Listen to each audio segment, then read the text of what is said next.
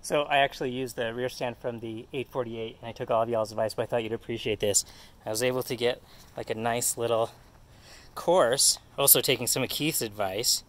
I used up more of the driveway. We have the back straight, assuming that the three-year-old can read, and slow, and then we turn, and then eyes up, because you know he's not looking, and then down, another little rumble, and then for the win, ching ching, winner winner chicken dinner.